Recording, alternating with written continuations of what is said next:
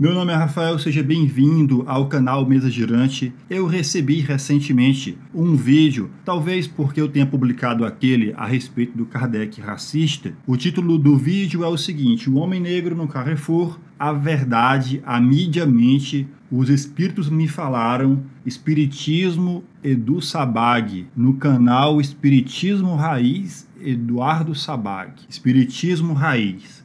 Pois bem, e aí eu fui ver o vídeo e o rapaz ele faz uma análise que me chamou a atenção por ser uma análise que reflete muito essa aura do espiritismo aqui no Brasil. O rapaz faz alguns comentários a respeito do que aconteceu e segundo a opinião que ele dá, ele acha que aquilo que aconteceu lá no Carrefour não foi racismo. Eu costumo explicar esse tipo de opinião muito como alguém que sai na rua e olha para o sol e vê o sol passar por cima da Terra e diz que é o sol quem se move a Terra é quem está parado, porque afinal de contas ele está vendo o sol se mover. Então, do ponto de vista dele, é a explicação é essa, porque é o sol quem está se movendo, não a Terra. E, e a opinião que ele dá aqui a respeito do racismo é mais ou menos nesse sentido. Do ponto de vista dele, não é racismo, e aí ele faz lá os comentários a respeito, porque desconhece toda a questão do racismo na estrutura social do Brasil, toda a complexidade desse fenômeno. É um fenômeno complexo, há muito estudo a respeito, mas como eu estou falando, a pessoa sai na rua, vê o sol se mover,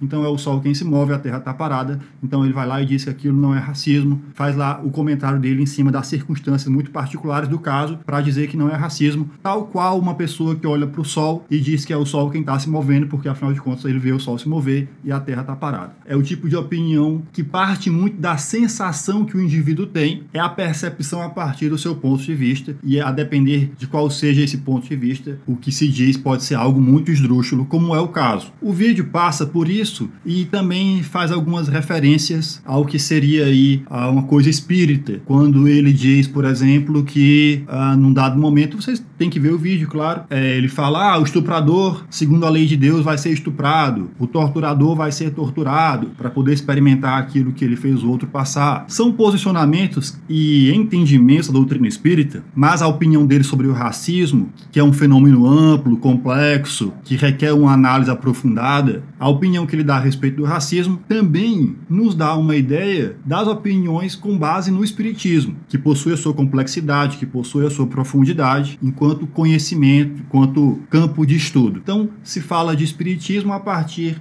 muitas vezes ali de um entendimento superficial. Mas mais do que isso, fala-se de espiritismo a partir desse produto que foi derivado aqui da prática do espiritismo no Brasil e de toda a sua literatura. Então, quando ele fala que o torturador tem que ser torturado, porque no livro tal, e aí os espíritos tem que passar por aquilo que fizeram o outro passar. Tudo isso é o resultado dessa cultura desenvolvida aqui no Brasil a partir de todos os livros que foram publicados e de toda essa mitologia que foi construída. Vendo esse vídeo e prestando atenção no comentário de alguns colegas a respeito, porque eu já vi alguém comentar mal a respeito desse canal, talvez por posicionamentos como esse, ou talvez pela maneira como esse rapaz coloque as coisas em termos de espiritismo. E o que eu quero colocar aqui para vocês é isso. Muitas vezes, quem não se agrada com esse tipo de conteúdo pela forma como a coisa é colocada, se agrada com outros conteúdos que possuem um verniz que permite então entender a coisa como sendo algo mais embasado. Se a gente pegar o exemplo desse palestrante, o Haroldo Dutra, que é outro fenômeno espiritual, espírita na internet, assim como esse rapaz que é muito popular, é um canal muito grande, enfim. A maioria dos vídeos desse Haroldo Dutra, e eu vi um recentemente que me indicaram, no qual ele fala sobre ideologia de gênero, ele dá a opinião dele com base no seu ponto de vista, com base no seu entendimento, com base até em aspectos profissionais no, no, no qual ele atua, mas na totalidade das exposições, na totalidade do conteúdo espírita, eu digo com muita tranquilidade que o Haroldo Dutra e esse Eduardo Sabag dão muito às mãos. Porque ambos, apesar de um ter um jeito mais espontâneo, mais despojado, e outro não, outro ter aquele aspecto que agrada mais as senhorinhas, por ser mais coxinha, aquela cara de bom moço, apesar das formas variarem, onde é que eles se encontram?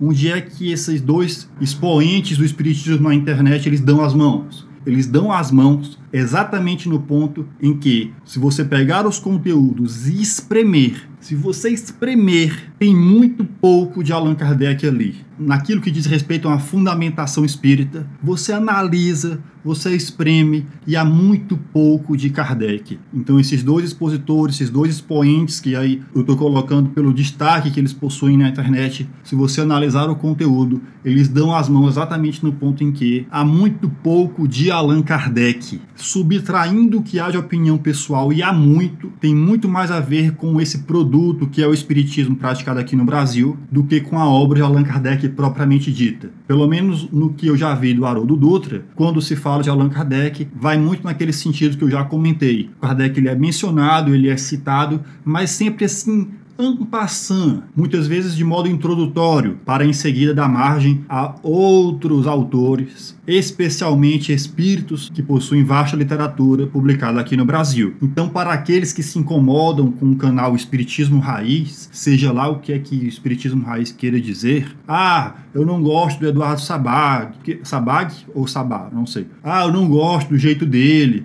Ah, as opiniões que ele dá. Você que não gosta, você que não se agrada, saiba que esse conteúdo abordado e exposto pelo Eduardo Sabag passa pela mesma porteira que passa o Haroldo Dutra, que é essa porteira do espiritismo praticado aqui no Brasil. Então, quem se incomoda com esse canal Espiritismo Raiz, se incomoda mais com o jeitão do cara, com a maneira dele colocar as coisas. Mas em termos de referência e em termos de embasamento, o Haroldo Dutra também não perde muito. Assim como já apontei num vídeo bem antigo aqui do canal, que foi logo quando eu ouvi falar desse rapaz, eu fui atrás de ver um vídeo dele. E ele fala de Allan Kardec de uma forma muito bizarra, de uma forma que é sem pé e nem cabeça. Eu vou colocar o vídeo aqui na descrição para que vocês vejam. Eu estou colocando esses dois expositores como exemplo aqui, mas muitos outros seguem essa linha de trabalho, que é uma linha no qual Allan Kardec ou não é mencionado ou é mencionado de forma superficial, onde há muita opinião pessoal e pouca base em espiritismo. E a base em espiritismo nem sempre é uma base em Allan Kardec.